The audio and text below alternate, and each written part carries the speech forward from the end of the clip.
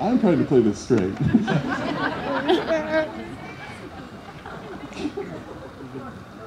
Marriage.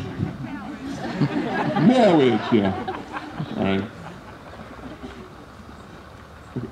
By the way, this is a geological uh, uh, reference here that, uh, you know, rock is formed deep under the earth millennia a year ago, dug from the ground, metal ores isolated and molten at thousands of degrees, cooled and formed, then taken for free, legality unconfirmed, by Charles and cut and bent and smoothed for hours and hours until he formed into two perfectly shaped, perfectly fitted rings.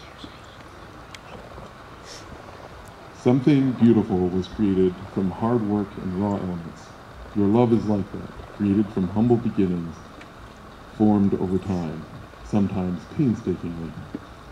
But two imperfect beings into something beautiful and extraordinary. As you look at these rings over the years, I hope you remember you've created something invaluable.